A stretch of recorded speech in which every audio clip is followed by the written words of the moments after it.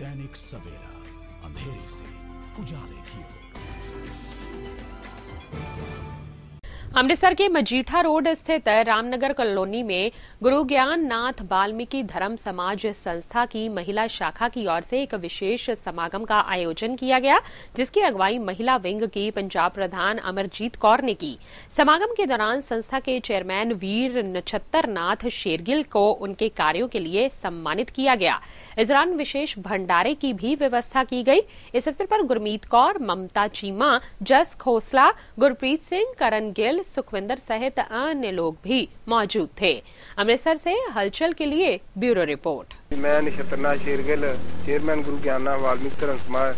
ਸੋ ਮੈਂ ਸਮੁੱਚੀ ਸਾਧ ਸੰਗਤ ਨੂੰ ਦੱਸਣਾ ਚਾਹੁੰਦਾ ਹਾਂ ਕਿ ਅੱਜ ਗੁਰੂ ਗਿਆਨਾ ਵਾਲਮੀਕ ਧਰਮ ਸਮਾਜ ਦੀ ਸੰਸਥਾ ਵੱਲੋਂ ਅਧਿਕਾਰੀਆਂ ਵੱਲੋਂ ਰਾਮਨਗਰ ਕਰਨੋਲੀ ਵਿਖੇ ਇੱਕ ਸਨਮਾਨਿਤ ਸਮਾਰੋਹ ਕਰਵਾਇਆ ਗਿਆ ਹੈ ਜਿਸ ਵਿੱਚ ਪਿਛਲੇ ਦਿਨੀ ਮੈਨੂੰ ਆਪਣਾ ਕਪੂਰਥਲਾ ਵਿਖੇ ਕੌਮ ਦਾ ਬੱਬਰ ਸ਼ੇਰ ਅਵਾਰਡ ਨਾਲ ਸਨਮਾਨਿਤ ਕੀਤਾ ਸੀ ਸੋ ਇਸੇ ਤਰ੍ਹਾਂ ਇਹਨਾਂ ਨੇ ਵੀ ਅੱਜ ਕੌਮ ਵੱਲੋਂ ਇੱਥੇ ਸਨਮਾਨਿਤ ਸਮਾਰੋਹ ਕੀਤਾ ਗਿਆ ਅੱਜ ਤੋਂ ਪੰਜਾਬ ਪ੍ਰਧਾਨ ਜੀ, ਜੋ ਪਿੱਛੇ ਸਾਡੇ ਵੀਰ ਜੀ ਨੂੰ ਕਰਪੂਰਥਲੇ ਤੇ ਸਨਮਾਨਿਤ ਕੀਤਾ ਸੀਗਾ, ਉਸੇ ਤਰ੍ਹਾਂ ਹੀ ਅਸੀਂ ਵੀ ਅੱਜ ਰਾਮਨਗਰ ਮਜੀਠਾ ਰੋਡ ਬਾਈਪਾਸ ਇੱਕ ਨੰਬਰ ਗਲੀ ਦੇ ਵਿੱਚ ਵੀਰ ਜੀ ਨੇ ਸ਼ਤਰਨਾਥ ਕੌਮੀ ਚੇਅਰਮੈਨ ਜੀ ਨੂੰ ਸਨਮਾਨਿਤ ਕੀਤਾ।